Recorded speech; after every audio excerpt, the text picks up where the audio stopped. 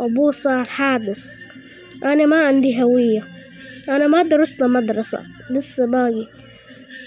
أبوي عنده أبوي في المستشفى. أنا ما عندي ما عندي إثبات.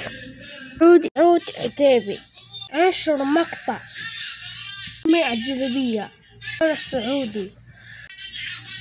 أقول الصغير ما عنده إثبات. أنا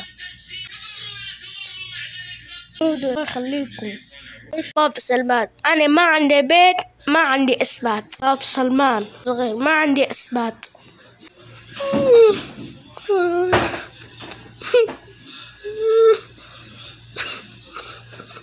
السلام عليكم ورحمة الله تعالى وبركاته. يا إخوان أنا عندي قناة على اليوتيوب آه، باللغة الصومالية.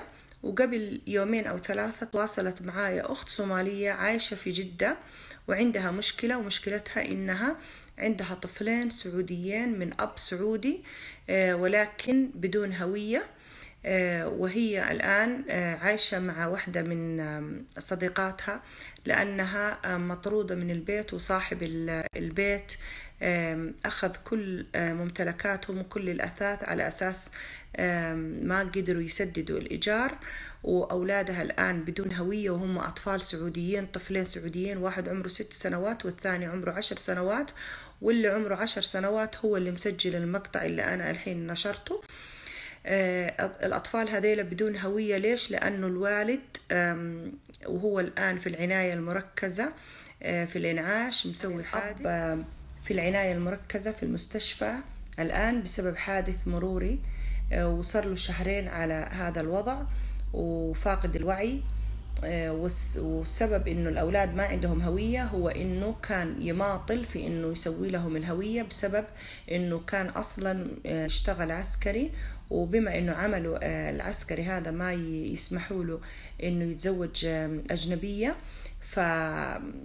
فكان ما بإمكانه إنه يسجل هذا الزواج بشكل رسمي والنتيجة إنه قبل ما يسجلهم بشكل رسمي وبعد مماطلته للزوجة كل هذه السنوات الآن هو راقد في المستشفى بين الحياة والموت والأطفال بدون بيت وبدون مدرسة وبدون هوية وحتى المعاش مقطوع عنهم.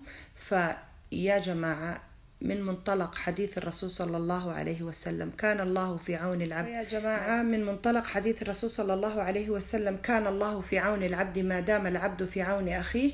رجاء انشروا هذا الفيديو بحيث أنه يوصل للمسؤولين. أولا لجلالة الملك المفدى الطفل قاعد يناشد وينادي بابا سلمان الملك سلمان الله يحفظه يا ربي ولولي عهده الأمين آه، الأمير محمد بن سلمان يا رب العالمين يحفظهم جميعا ويحفظ المملكة ويحفظ حكامنا جميعا يا رب العالمين ويحفظ بلاد الحرمين من كل شر. جماعة يا جماعة رجاء رجاء انشروا هذا المقطع حتى يوصل المسؤولين والسلام عليكم ورحمة الله تعالى وبركاته.